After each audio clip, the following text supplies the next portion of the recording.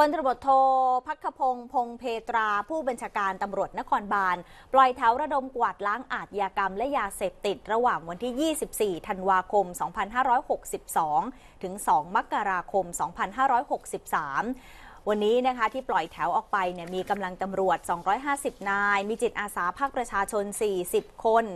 ม้าตำรวจอีก 4 ตัว สุนัขตำรวจ 8 ตัว รถยนต์สายตรวจ 20 คัน รถแท็กซี่ 8 คัน รถจักรยานยนต์อีก 10 คันค่ะ โดยผู้บัญชาการตำรวจนครบาลบอกว่าในช่วงเทศกาลปีใหม่ประชาชนก็จะเดินทางออกต่างจังหวัดกันเป็นจำนวนมากนะคะ แล้วก็มีการจัดงานรื่นเริงกันหลายพื้นที่ เพราะฉะนั้นมันก็มีความเสี่ยงที่จะเกิดปัญหาเรื่องความปลอดภัยได้ จึงกำชับให้เจ้าหน้าที่เฝ้าระวังเรื่องการประทุษร้ายต่อทรัพย์สิน ทั้งบริเวณสถานีขนส่ง แหล่งท่องเที่ยว สถานที่จัดงานเฉลิมฉลองปีใหม่ และจุดเสี่ยงที่มีเหตุเกิดขึ้นบ่อยครั้ง ป้องกันเหตุทะเลาะวิวาททำร้ายร่างกาย และก่อเหตุในสถานพยาบาล นอกจากนี้ยังต้องกวดขันจับกลุ่มผู้ที่เล่นดอกไม้ไฟ พลุประทัดการปล่อยโคมลอย รวมทั้งตรวจตราสวนสาธารณะ สถานบริการที่อาจจะกลายเป็นแหล่งมั่วสุม รวมไปถึงเรื่องของยาเสพติดด้วยค่ะ